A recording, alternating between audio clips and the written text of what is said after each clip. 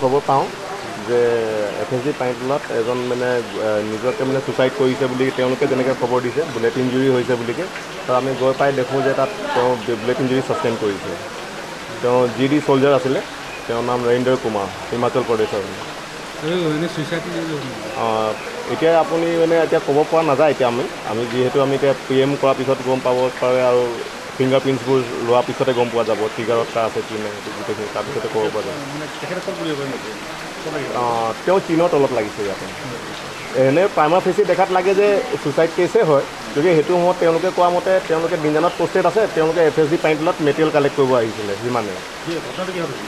আহ, তেওঁলোকৰ ট্ৰাকত তেওঁলোকৰ ট্ৰাকত কেবিনত আছিলে তেওঁ অকলে আছিলে। তেওঁলোকে কোৱা মতে তেওঁলোকে অকলে আছিলে তেতিয়া তেওঁলোকে নিজৰ চাৰ্ভিচ চাৰ্ভিচ ৰিভলভাৰ দি ছুচাইড কৰিছে বুলি কৈছে। আৰু ইয়াত ইঞ্জুৰি ছাষ্টেইন কৰিছে আৰু তেওঁলোকৰ এই দুখন পাৰ্ট এভালচন হৈছে। ঠিক আছে। ঠিক আছে।